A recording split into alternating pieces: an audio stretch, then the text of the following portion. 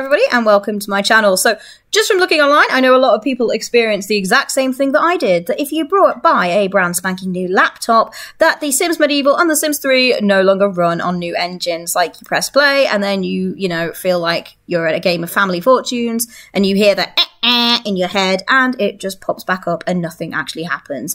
So, I obviously looked online a lot, and I know a lot of you have probably downloaded this thing over here. This is the TSM script um, from that I've seen in other videos, and I know it's run, it's worked for some people, but it didn't run for me. If I run that by PowerShell, pops up for a second and nothing happens. So there is actually a way to get around this. It's very very simple. All you have to do is go down here to your search bar, search in Task Manager. Mine's at the top because I've used it quite a bit. Go to Task Manager, bring up Task Manager, and now you're going to go to details, okay? And then all you're going to do is find the EA app, so EA desktop.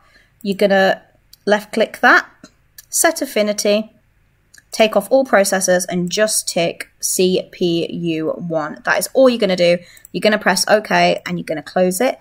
And then when you press play on The Sims Medieval, it should, fingers crossed, work.